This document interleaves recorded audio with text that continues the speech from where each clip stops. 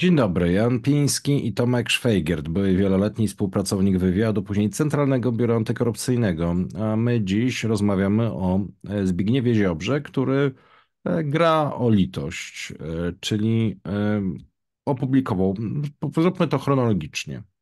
Zaczął od tego, że zaczął swoją obecność na Twitterze po mm, praktycznie mm, dwóch miesiącach nieobecności, ponad dwóch miesiącach. Poprzedni mm, aktywność na Twitterze miał 6 grudnia 2023 roku, e, po czym 9 marca e, wpisał, że nie mógł e, wziąć udziału w ostatnim pożegnaniu pani profesor Elżbiety Starosławskiej, bo jego stan zdrowia na to nie pozwala i po tej krytyce, która się pojawiła, E, tego wystąpienia 12 e, marca napisał tak. Z całego serca dziękuję wszystkim za modlitwy i życzenia powrotu do zdrowia. Daliście mi siłę do walki ze śmiertelną chorobą nowotworu złośliwego przełyku z przerzutami do części żołądka. Po wielu miesiącach wyczerpującego leczenia onkologicznego przeszedłem skomplikowaną 8-godzinną operację, udanym, choć ciężkim zabiegu usunięcia większości przełyku, części żołądka, przede mną długa droga do odzyskania pełni sił.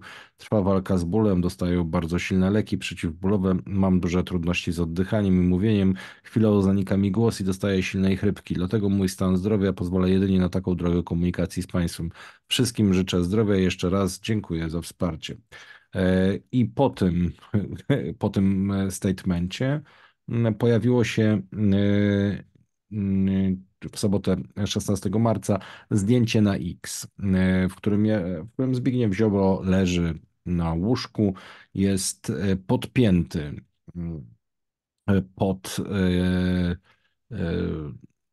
nawet nie kroplówki, tylko jakieś rurki wspomagające oddychanie generalnie jest e, w takim łóżku, jakby powiedzieć, szpitalnym i podpis jest taki.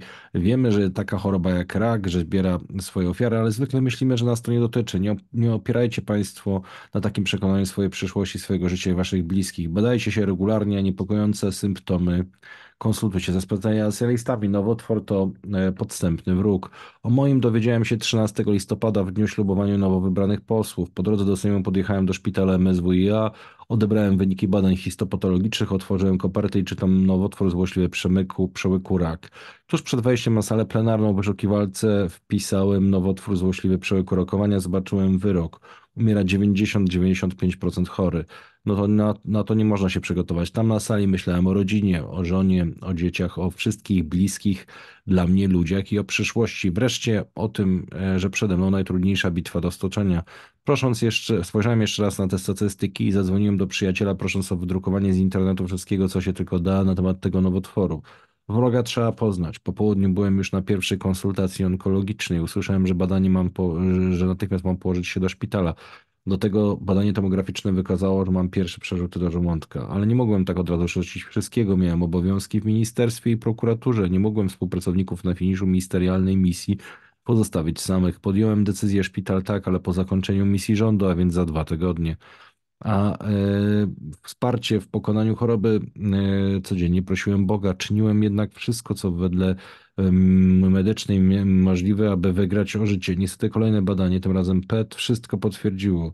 Szczęśliwie trafiłem do wspaniałych lekarzy i personel, w tym świętej pamięci Elżbietę Starosławską, której wiele zawdzięczam. Po wyczerpującej radio i chemioterapii oraz immunoterapii przeszedłem ciężką operację, która objęła klatkę piersiową, jamę brzuszną i mięśniową oraz szyję. Do klatki piersiowej wprowadzone zostały dreny usuwające pozostałości krwi po operacji, mimo silnych środków przeciwbólowych w tym aplikowanych bezpośrednio do kręgosłupa, ból wciąż e, stanowił dla mnie wyzwanie. Wciąż mam pewne trudności z mówieniem i oddychaniem, ale żyję.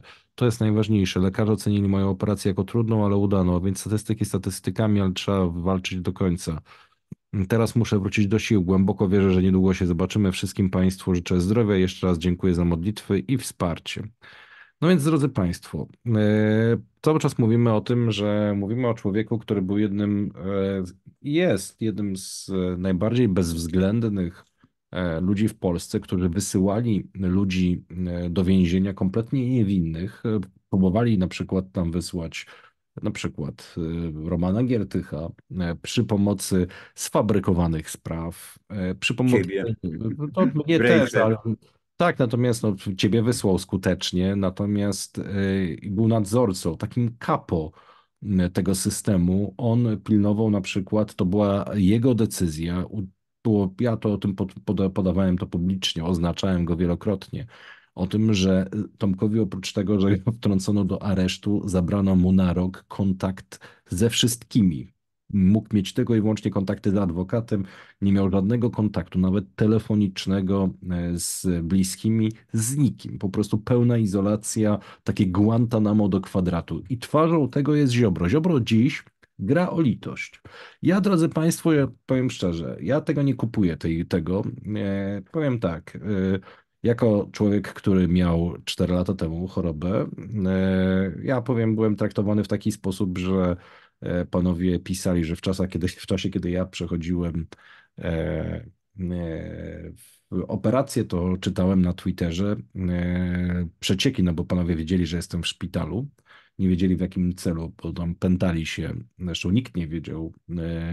Nawet moja, e, z mojej rodziny to zna, znały to w sumie tylko e, dwie osoby i, i Tomek, czyli trzy osoby teoretycznie miały wiedzę, gdzie przebywam i w jakim celu. Moja matka na przykład nie wiedziała, a ja czytałem na e, profilu Łukasza Pawelskiego, że jestem w szpitalu na wszyscy alkoholowej.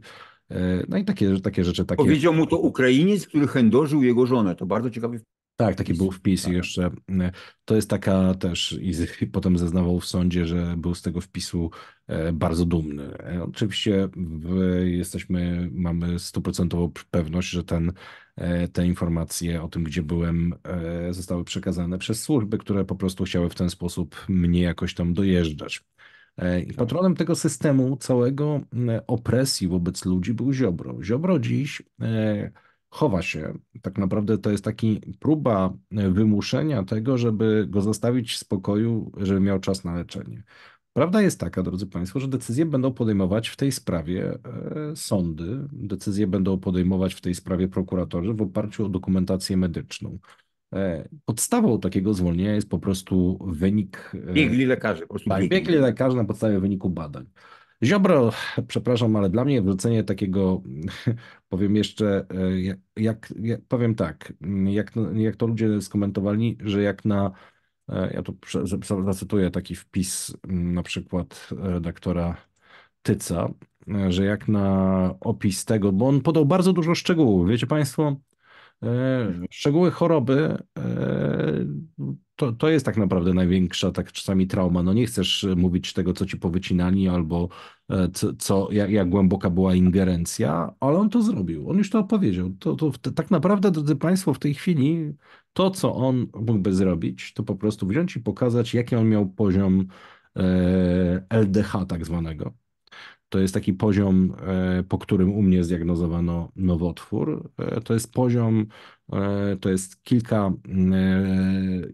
nastokrotnie przekroczony poziom białych krwinek, które po prostu zaczynają nawalać się z nowotworem. I to potem, potem widać, że coś się dzieje. W takim czasie, w takim wypadku, jak robił, on już miał niby histopatologię, jak twierdzi 13 listopada, to e, po czymś takim e, jesteś e, dwa tygodnie, wcale nie, jest, nie idziesz od razu do, do szpitala. On tutaj oczywiście koloryzuje, zakładając, że to, to, co napisał, byłoby zgodne z prawem. Dostajesz antybiotyki.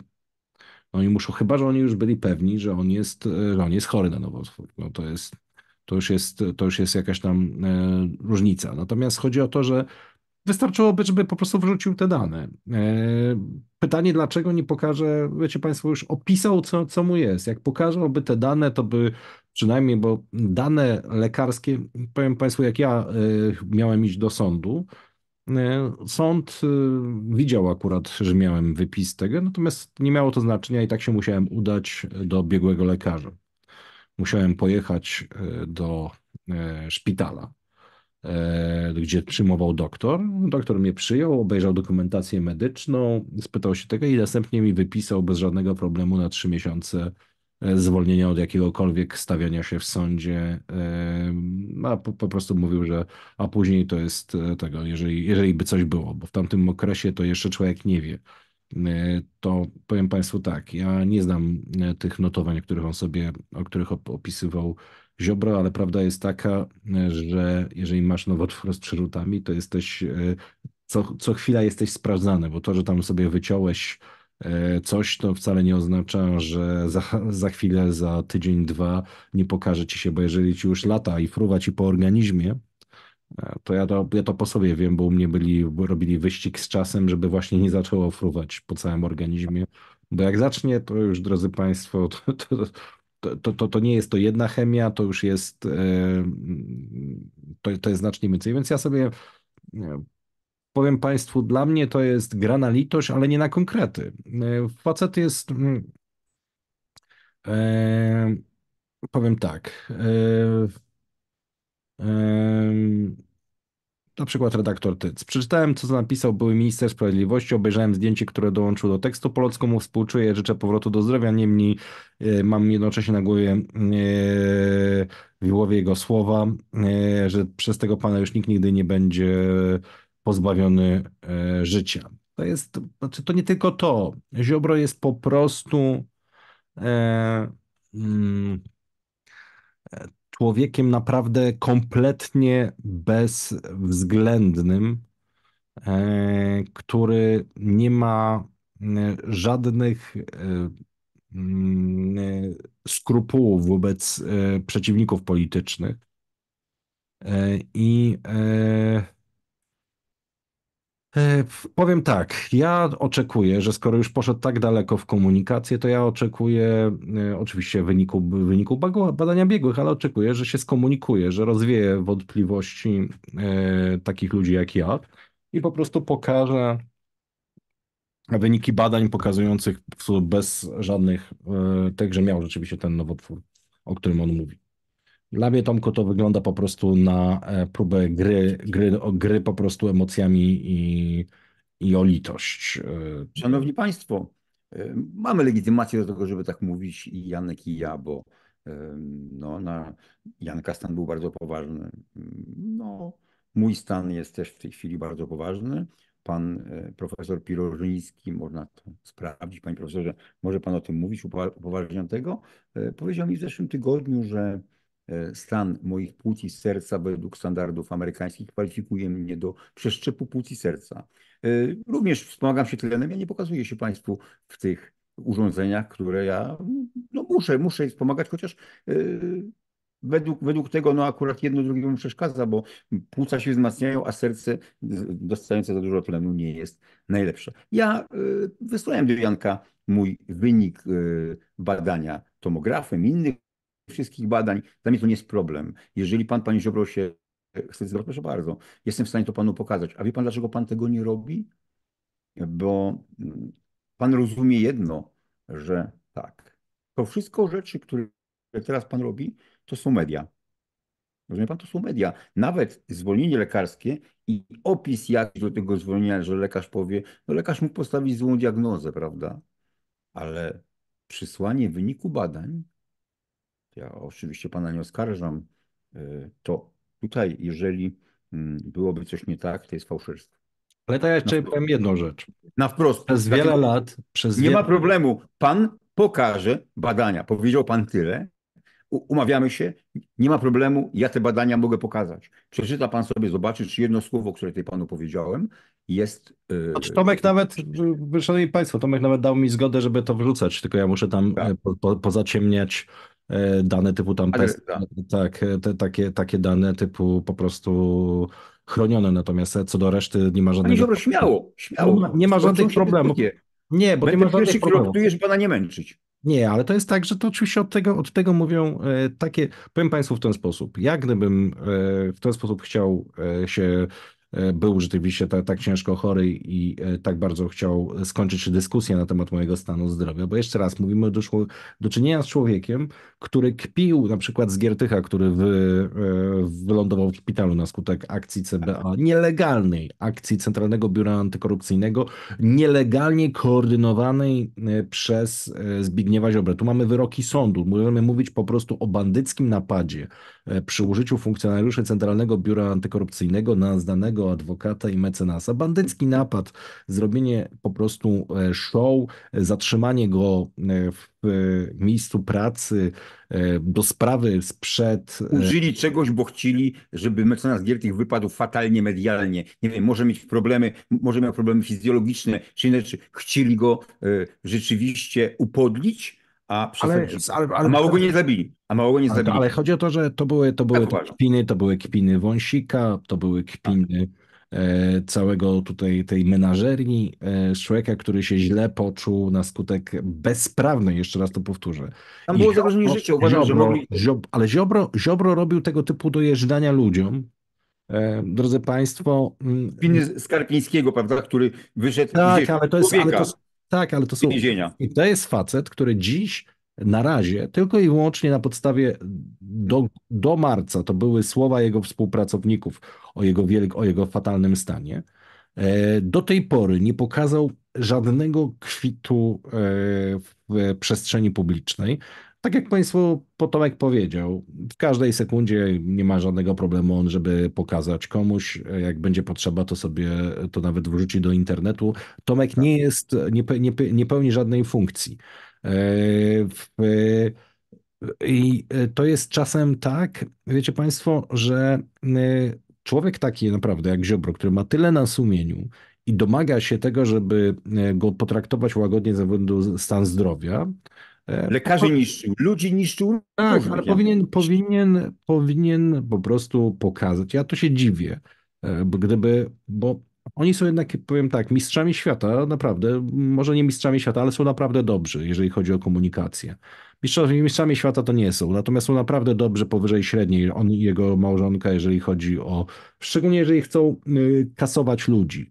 E, w tym są naprawdę idealni. I ona i on doskonale wiedzą, że gdyby zaczęli od y, opublikowania badań, y, tak jak mówię, jest poziom, współczynnik LDH, który e, pokazuje e, stopień e, po prostu organizmu, w jakim stopniu był. Jest wiele, jest wiele jeszcze zresztą diagnoz. Jest diagnoza, on swoją diagnozę dokładnie opisał. Więc nic nie stoi na przeszkodzie, żeby wrzucił właśnie dokument. Poza tym, że jeżeli ten dokument będzie opiewą na Zbigniewa Ziobrę, a potem się okaże, że to nie jest prawdziwy dokument, no to, drodzy Państwo, e, to jest już tak, jak Tomek powiedział, to już jest zarzut fałszerstwa dokumentów. Dlatego ja powiem Państwu, mieliśmy na przykład taki e, pomysł e, lata, lata temu. Piotruś Nisztor gdzieś lobbował, żeby nas skrzywdzić w jakiejś sprawie i chciał, żeby ktoś, jakaś agencja PR-owska zainteresowała się mną. I myśmy, ta pani, która tą agencję PR-owską reprezentowała, zaczęła dopytywać się i pytać się, czy ktoś nie ma jakichś materiałów kompromitujących na mnie. Ja poszedłem do mojego adwokata wtedy, bo mieliśmy taką koncepcję, że, spre, że spreparujemy na siebie materiały, zrobimy jakieś lewe umowy, które nas obciążają i następnie sprzedamy je nisztorowi Mieliśmy koncepcję, że pieniądze, które byśmy z tego uzyskali, byśmy wpłacili na Wielką Orkiestrę Świątecznej Pomocy, ale nam tutaj nas ostudził adwokat, mówiąc, że chłopaki, nie możecie zrobić, fałszować dokumentów, nie możecie tego tak. zrobić, bo będziecie po prostu, nie jesteście kurwa służbą specjalną yy, i macie kurwa po prostu odpowiedzialność karną, więc yy, prowokacja dziennikarska tak daleko nie sięga, żebyście sobie robili dokumenty legalizacyjne i dupa za przeproszeniem. Musieliśmy z naszego świetnego pomysłu, żeby go wsadzić na wrotki i sprzedać mu materiały. Że słuchanie taśm Ziobry i Niszto, znaczy Nisztora i Obajtka jednak ci się nie wolno tego słuchać, bo, bo już użyłeś dwa razy, kurna. A nie, no czy to... No to jest, Żartuję. ale czas, czasem, czasem, drodzy Państwo, sobie pozwalamy. No to jest, e, Janek, ale ktoś masz chorobę Tureta, to tak jak ja. to właśnie, ja mówiąc o nich, to mam nieustanną chorobę Tureta. tak, Szanowni Państwo, To przepraszamy. samo robił Obajtek. Zobaczcie Państwo, że szedł w tym kierunku. Zostawcie mnie, ja jestem biedny, ja mam chorobę Tureta i dlaczego wy mnie atakujecie? Ale jeszcze zacytuję Leszka Kraskowskiego, e, dziennikarza, napisał tak. Przez lata pomagałem organizacjom pacjentów onkologicznych. Daleki jestem od snucia teorii spiskowych, ale że i tak wygląda pacjent chory na raka przełyku z przerzutami po radioterapii i trzech dawkach chemioterapii, to medycyna poczyniła zdumiewające postępy. No, szanowni Rewelacyjne peruki robią naprawdę teraz. Nie, to nawet nie chodzi o paruki. Rzeczywiście jest tak, szanowni państwo, oczywiście ja słyszałem, e, że mm, nie każdemu muszą się posypać włosy po chemii.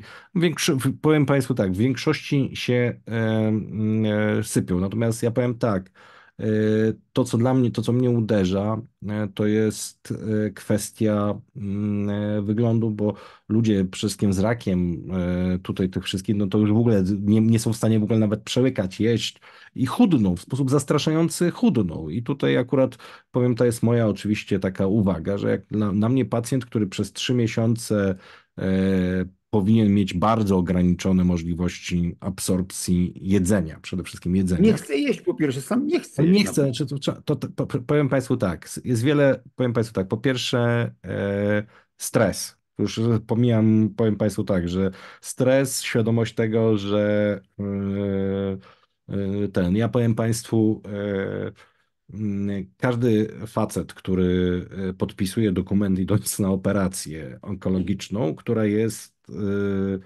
założenia e, mm, musi się zgodzić na generalnie wycięcie, że oni jak ci otwierają pacjenta, to w tym momencie oni piszą, że chcą mieć możliwość ile potrzebują, tak. tak, że masz się zgodzić po prostu na wszystko. To znaczy oni po prostu chcą ciąć i nie, nie będą otwierać pacjenta, jeżeli pacjent im nie podpisze zgody na, na wycięcie wszystkiego. Jeżeli coś znajdą po prostu zakażonego, to trzeba to podpisać. Ja powiem Państwu, e, ja się czułem jak e, Deadman Walking, pamiętam. Wiem, byłem, czekałem na ciebie. Na Ale ciebie. nie, bo to było jeszcze, ale ty mnie jeszcze nie widziałeś naćpanego. Ja jeszcze byłem, bo ja byłem po tym, jak żeśmy my się pożegnali, bo Tomek mnie tam zawiózł. Jak myśmy się pożegnali, to pani mi dała, ja się czułem jak facet, który szedł, e, przepraszam, na... Ja czekałem całą operację, widziałem jak jechałeś i Ale ja to przyjeżdżałem. No i to są, to są te, to są, ale chodzi o to, że to, to znaczy poziom stresu naprawdę mm, i właśnie jak też, gadałem z anestezjologiem, ja zresztą byłem przytomny przez całą operację u siebie, e, bo e, zwracałem uwagę, że mam, że mam dosyć wysoką odporność na środki znieczulające i nie byłoby dobrze, żebym się wybudził w trakcie operacji. Zresztą zostało zweryfikowane dosyć pozytywnie. To, szanowni Państwo, po prostu wynika, tak, taki mam organizm, że jestem, że jestem ciężko znieczulalny. No i to jest, mm, pamiętam jak po, po dwóch godzinach właśnie od operacji pani spytała, jak u mnie z czuciem w nogach, jak zrobiłem nożyce, to e, było wielkie zdziwienie. Że, że, to już, że, to już, że to już działa. E, W każdym razie e, powiem Państwu, że Mm, To jest oczywiście wrażenie optyczne, ale zdjęcie człowieka, który, mm, no, to jest to, co, to, co opisał, chorobę, którą opisał, on powinien być po prostu wychudzony. No, ale to jest moja opinia. Natomiast e, powiedz, Ziobro może przeciąć te e, dywagacje, które sam zaczął, e, może przeciąć w bardzo prosty sposób, wklejając, skoro już to wszystko opowiedział. Szanowni Państwo, to już nie, nie ma żadnej tajemnicy, on to wszystko opowiedział, e, chciał tego, to, to, to niech pokaże po prostu, wiecie Państwo, to jest też, to jest też spadek LDH, bo to jest też na przykład, pierwsza, pierwsza rzecz jest taka, że pierwsza to jest tego, potem jak wycinają, to sprawdzają jak, jak czy, czy jeszcze, bo jeżeli się poziom nie spadnie, to oznacza, że gdzieś jeszcze są te komórki rakowe, które się rozwijają. Więc to też jest taki sygnał dla lekarzy. I tak naprawdę e, e, to jest. oni robili przygotowania artyleryjskie. Najpierw, najpierw Jaki, Ja nie wiem, później, ja, ja się nie znam, ja się nie chcę wypowiadać na temat. Ja, ja, ja nie jestem. później Wójcik, później, później Kępa, później różni ludzie z Solidarnej Polski mówili o złym stanie.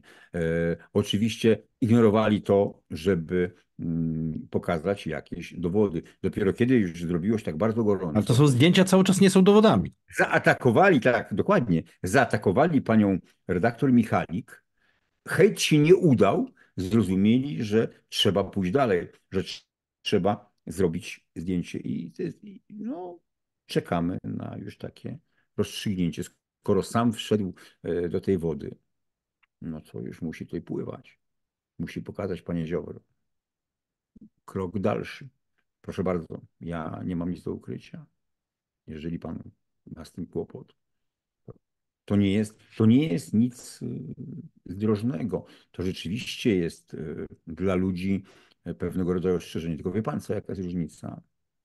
Ja do więzienia poszedłem z chorym kręgosłupem, serce miałem zdrowe, y, płuca miałem zdrowe i wyszedłem bez płuc i z sercem, które ma 19%, znaczy 29% funkcjonowania. Także Panie Ziobro, ja nie jestem jedyny. Ze mną siedział kolega, który miał nowotwór powieki i w ogóle miał nowotwór. Nie chcieliście go zwolnić. Mój drugi kolega oślep na jedno oko, ma bardzo poważne problemy. Nie chcieliście go zwolnić. Dopiero jak już było bardzo poważne zagrożenie. Z reguły zwalniacie ludzi, zwalnialiście ludzi do domu, kiedy oni już umierali po kilku dniach. Takich przypadków jest mnóstwo. A pan korzysta z tego, żeby żałować pana, bo pan jest w tej chwili bardzo chory.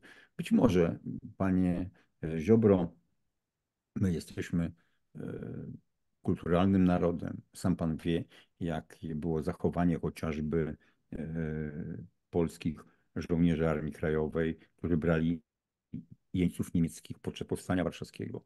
I ci jeńcy przyznawali, że byli tak samo zaopiekowani e, mimo braku lekarstw, braku bandaży, jak rani powstańcy. I w innych sytuacjach też. I tutaj na pewno nikt z e, tutaj nas wszystkich ludzi nie, nie złamie tego. Jeżeli pan jest chory, to trzeba dać panu spokój. Ale jeżeli pan tyle razy manipulował, to jest kolejna manipulacja, to niech pan nawet w związku z tym, że tylu jest ludzi chorych i jest terminalnych. Ja przeczytałem, że u mnie w złym scenariuszu jest 3 do 5 lat. A jeżeli pan tym igra, to nie jest ten moment. Jeszcze raz. To chodzi o pana wy, wybronienie się. To chodzi znaczy, o to, to jest tak, że opinia publiczna ma prawo do wiedzy, więc jeżeli e, Zbigniew Ziobro domaga się E, spokoju e, i zmaga się tego, żeby go, tego to niech pokaże, już opowiedział, opowiedział o tym, co mu wszystko. dolega, to, to opowiedział co wszystko, co mu dolega, to niech, niech po prostu pokaże, niech pokaże po prostu kwity i... Pokaż wyniki, tak jest. Tak, dlatego, a wiecie dlaczego? Dlatego, że od wyników też będzie wiadomo. Powiem Państwu tak, wywiad twierdził, że w ogóle Ziobro e, jest zdrowy. Inni twierdzili, panowie ze źródeł, to rzecz, bo uczciwie raportowaliśmy, że jest chory, ale ta choroba nie jest tak źle rokująca, jak, jak on twierdzi. I wersja, którą słyszeliśmy na samym początku, że jest terminalny i może nie doczekać świąt. No więc ta, ta wersja się, pierwsza się o tym złym stanie zdrowia się nie potwierdziła. E, pozostałych, e, pozostałe rzeczy łącznie z, proszę pamiętać, z tym, z akcją przeniesienia rodziny za granicę. To też miało miejsce. I e, szanowni Państwo, powiem Czyli tak. medialnym ma coraz mniejszy, mniejszą możliwość Historia, drodzy Państwo, historia bez cenzury jest w sprzedaży do 20 marca. Polecam. E, od 21 marca będziemy mieli nowy numer e, i to jest numer pisma, e, którym okładkowy temat jest mój. To jest koniec mitu Kościuszki. Naczelnik zaszkodził Polsce. Ostatnie powstanie tak naprawdę, pierwsze z serii wielkich powstań, tak naprawdę drugie powstanie polskie. Pierwszym powstaniem była, e, było powstanie tak naprawdę, które, które tak się nie nazywa, czyli Konfederacja Barska z lat 1768-1772, która doprowadziła do pierwszego rozbioru Polski.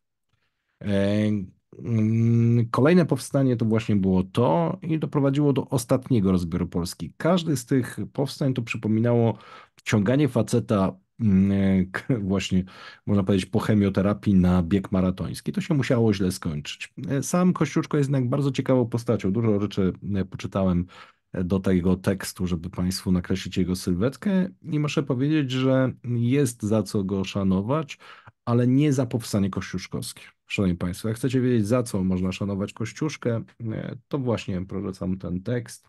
Oprócz tego gejowski militaryzm Prus.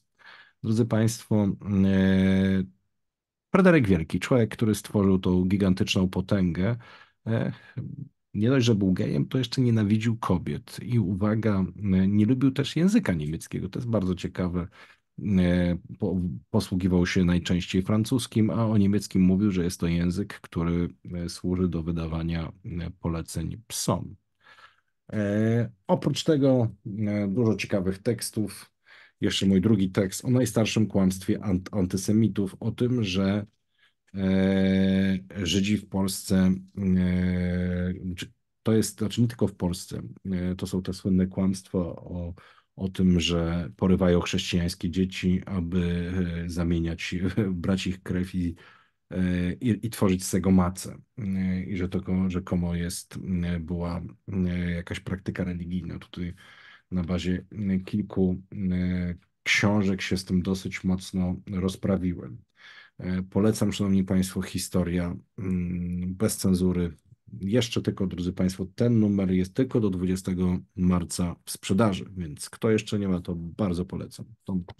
Panie Jarosławie, pan Zofiu, Zosiu po 17. Wie pan co, znowu pan strzelił kulą w płot, a zrobił pan sobie kłopot, bo pan, już mówiliśmy o tym, że pan miał tego członka na ustach przez całą komisję, pan, pan się cieszył, ale pan e, zaczął mówić o naleśnikarni Zębaczyńskiego. Panie Kaczyński, pan, pan mówi o naleśnikarni, e, Ozdoba mówi o naleśnikarni, że chłop zbankrutował, a co pan E, kiedykolwiek otworzył swojego. Co, czy pan kiedykolwiek e, tak naprawdę zatrudniał ludzi z biznesu, który pan zrobił od początku? Nie, pan zrobił e, partię PiS. Pan się uwłaszczył na, na majątku PZPR-u. E, ci pana ludzie, niech pan zobaczy, tam jest naprawdę mało ludzi, którzy mieli jakieś sukcesy w biznesie. Wy wszyscy żeście tylko żyli z cycka państwowego. Ozdoba, a co ty takiego osiągnąłeś, że się śmiejesz z Zębaczyńskiego? Pomyśl sobie człowieku i wy, ten wasz, e, ta wasza grupa tam ludzi, członków, ta, ta wasza, e, tak naprawdę no to wy, gdyby nie państwo, nie ten cycek państwa, to byście byli nikim. I wy się śmiecie z Zobaczyckiego, że zakładał naleśnikarnię, no być może mu się nie udało. Zobaczcie, Janek całe życie żył y, z tego, że e, umiał założyć firmę, umiał funkcjonować. Pisać, był, Tomek. Pisać, nie był, na, nie był na garnuszku państwa, zatrudniał ludzi. Zobaczcie, e, mecenas Giertych, który odszedł i powiedział, dobra, ja idę i będę żył, założę swoją kancelarię. Spektakularny sukces. Ja już nie mówię, nie mówię o mojej skromnej osobie. Przez taki długi, długą część życia byłem szefem agencji ochrony, zatrudniałem ponad tysiąc osób. No później żeście mi to skutecznie rozwalili, ale to wrócimy do tego tematu. Y, robiliśmy coś miliony Polaków, tak jak, tak jak my, zrobili coś, a wy co? I śmiejecie się z Baczyńskiego? Z czego? Z czego? Wy jesteście po prostu no, nieudacznicy. I nie śmiejcie się z ludzi, którzy robili coś. Tusk pracował na siebie na kominach. Pracował, dobrze zarabiał. Pan też wchodził na kominy, panie Jarosławie, pewnie. Nie? Niech pan może o tym nie opowiada. To tylko tyle. Do widzenia państwu. Szanowni Państwo, do zobaczenia.